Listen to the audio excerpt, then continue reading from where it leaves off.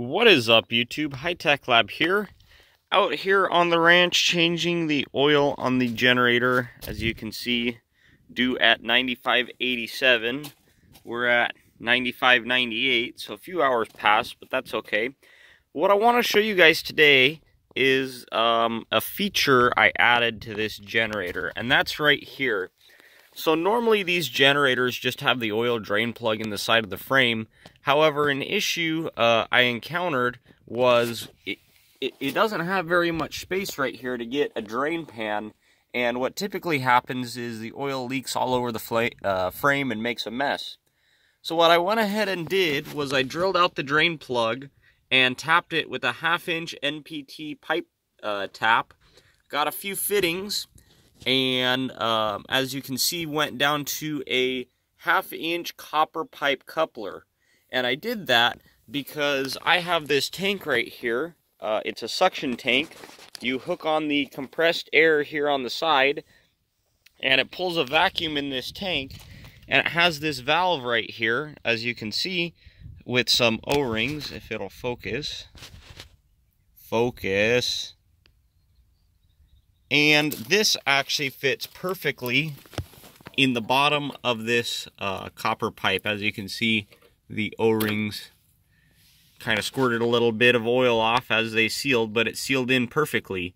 So uh, then all you have to do is open this ball valve here and this ball valve here, and the oil will drain. And the cool part is if, if you don't have this tank, let's say you have this generator because this is a trailer generator. Let's say you do have this out in the field, it still is a easy situation because now you're clear uh, of, of any obstructions and you can just have an oil pan in this place right here and just open up the ball valve uh, to drain the oil.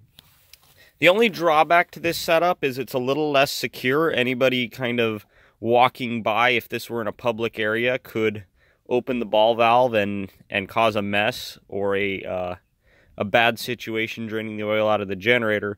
But in our case, we're out here on the ranch, and uh, there's nobody around to to mess with ball valves for a good way. So definitely a time-saving uh, technique. Next thing to figure out is filling this thing. This thing takes forever uh, with this 1540 weight oil.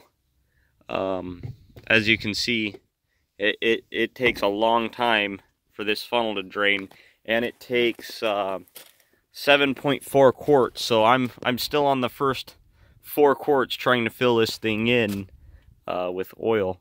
And then another trick on changing the oil on this generator is I get a uh, plastic Ziploc bag and just set it down here.